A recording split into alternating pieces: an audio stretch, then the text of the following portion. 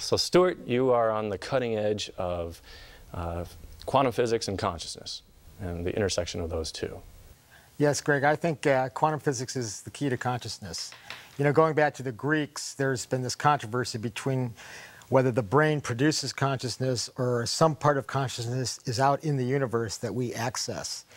And quantum physics allows us to sort of bridge that gap and actually favors uh, being able to access parts of consciousness or the essential features of consciousness which are present in the universe by working through the brain. Are you saying that um, we are accessing something that, are, that pre-exists and we're basically just a conduit for it then, or do we have a say? Well, it's not quite that simple. Um, there are basically two approaches to the so-called hard problem of consciousness, namely uh, the hard problem being why we have experience, why we have flavors, tastes, emotions, feelings, how we're different from robots or zombies uh, why we have an inner life. And the two approaches are basically emergence and some kind of fundamental approach. Emergence is the idea that conscious experience emerges at sort of a high level of complexity. The brain, like many other systems, being sort of a hierarchy, and if you get complex enough up that hierarchy, voila, some new property emerges, like, uh, like a, a, a storm, for example, a hurricane or a tornado is a pattern that emerges from simple elements, gas molecules, air molecules, uh, working together to, to, make a funnel cloud, for example, or the great red spot of Jupiter, or a candle flame is an emergent property, or the property of wetness from water is an emergent property. So many people think that consciousness emerges as a new novel property at a high level of complexity in this hierarchical system that we call the brain. The problem with that, I think, is that none of these other emergent phenomena are conscious. They don't have conscious experience.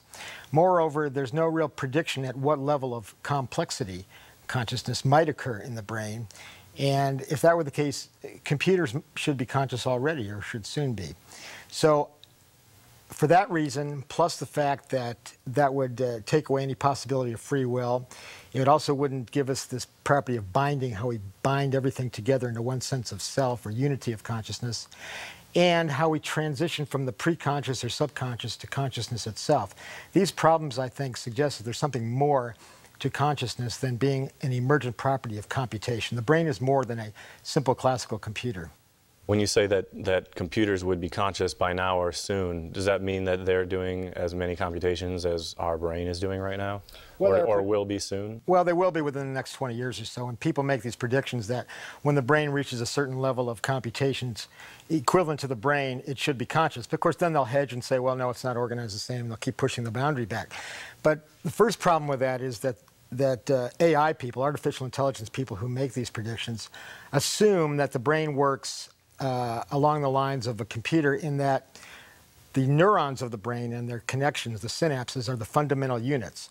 So, for example, we have roughly uh, 10 billion neurons, with, which, with 1,000 connections each, or 10,000 switches to other neurons, which gives us about 10 to the 15th operations per second, uh, with each neuron operating as a fundamental unit. The problem with that is that each neuron is much, much more complex than a simple switch. For example, consider a simple, a single cell like a, a paramecium, a single cell organism. It swims around, it finds food, it learns. If you suck it into a capillary tube, it escapes. And if you do it again, it gets out quicker and quicker each time. So it can learn, it can find mates, it has a sex life, it does all kinds of things. It doesn't have any synapses whatsoever. It's just one cell. And yet it's conscious. I'm not sure it's conscious or not. That's a little bit but it's certainly intelligent and it does complex things without any synapses. So if a paramecium, one cell, can do all those things, why should we think that a neuron is just a simple on-off switch or that a synapse is just a simple on-off switch?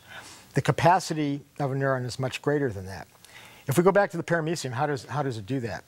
It uses its internal structure, its cytoskeleton, the, what, what seems like the structural support, but, but which is also the the nervous system within each cell, the, the cytoskeleton comprised of microtubules mainly, which are these hollow cylindrical polymers that, that are seeming, seemingly perfectly designed to be information processing devices at the molecular level, a scale below that of neurons.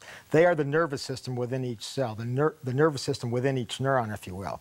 So these proteins, they're made of proteins, switch much faster than neurons. There's many, many more of them. Um, well, there's like um, 10 million within each cell, for example, switching in the nanosecond.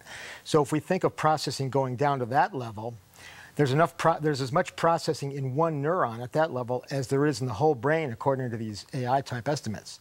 So if we think that, that information processing in the brain goes down to the level of the microtubules, for example, we've increased the information capacity uh, by from somewhere from 10 to the 15th roughly to 10 to the 27th. So that pushes the, the goal way farther for the AI people.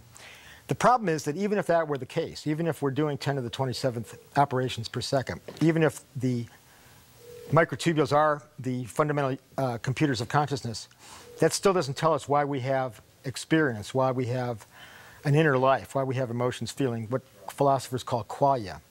That's just more reductionism, more um, you know, more computation, but doesn't solve the problem, nor does it solve the other problems like binding, transition from preconscious processing to consciousness, the problem of free will, and so forth. And actually, I worked on um, the idea that microtubules inside neurons and other cells were information processors. And uh, for, for almost 20 years, suggesting that to understand consciousness, to understand the brain, we needed to go inside each neuron to this level to consider all this information processing.